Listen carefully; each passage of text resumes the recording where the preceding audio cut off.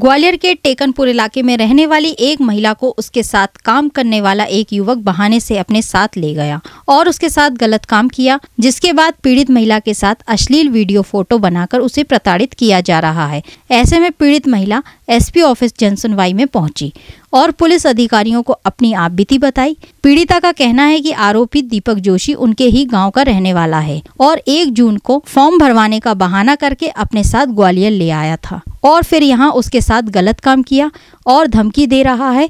पीड़ित महिला की शिकायत कर पुलिस जनसुनवाई में मौजूद अधिकारियों द्वारा इस मामले की उचित जाँच कराकर कार्यवाही का भरोसा पीड़िता को दिया गया है। एडिशनल एसपी देहात जयराज, कुबेर का कहना है कि पीड़िता ने शिकायत की है और इस संबंध में संबंधित थाने की पुलिस को मामले में त्वरित कार्यवाही करने के निर्देश दिए गए हैं।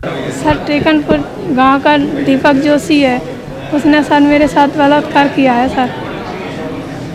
उसने बोला, मेरे से फॉर्म भरने के लिए जाना है। हम फॉर्म भरने के लिए आए लेकिन उसने सर स्कूल नहीं लेके गया। मुझे पता कहीं और लेके गया।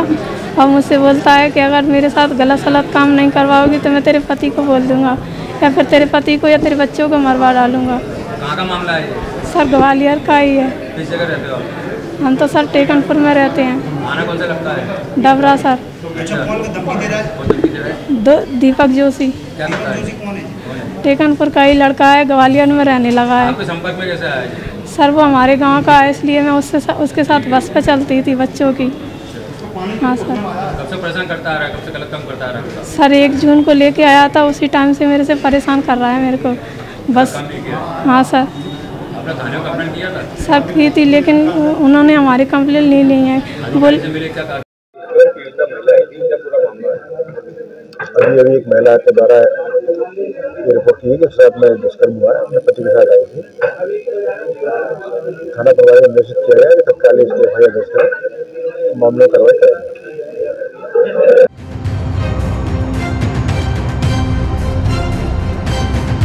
और भी रोचक खबरें देखने के लिए YouTube पर एम पी टुडे नेटवर्क को सब्सक्राइब करें। खबर को लाइक करें और बेल आइकन दबाना ना भूलें, जिससे आपको रोज नई खबरें देखने को मिलेंगी।